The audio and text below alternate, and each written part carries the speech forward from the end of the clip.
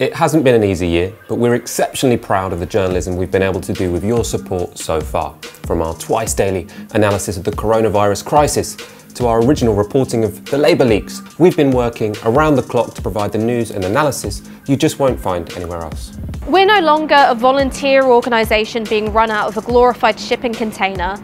We're breaking stories and setting the agenda and giving the mainstream media a run for their money. 2021 is going to be Novara Media's most ambitious year yet. We want to do more podcasts, more original news gathering, and allocate resources to do original investigative reporting. But to break new ground in 2021, we need to raise our monthly income and fast.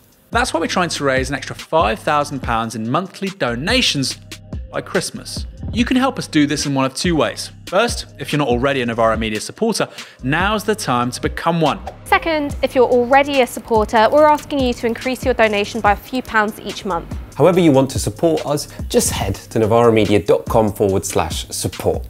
We cannot emphasise it enough. All the work we do depends on your donations. Who knows what's going to happen in 2021, but one thing is for certain. There's never been a better time to build a new media for a different politics, and it can't happen without you.